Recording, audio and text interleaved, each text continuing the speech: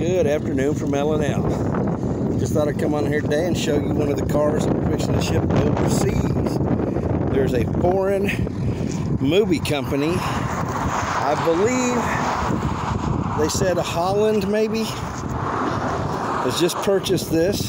Appears to be about a 47 or 8 Plymouth four-door sedan. Been here a good long time at L&L and I'm proud that someone somewhere can use it for something. Other than that, I always thought these were kind of ugly. they kind of remind me.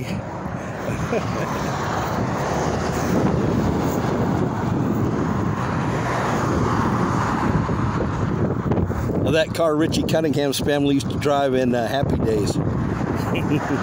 it was butt ugly too. anyway, if you're ever out here at L&L Classic, stop in and see if you can take one of these treasures home with you. Let's have some cool patina.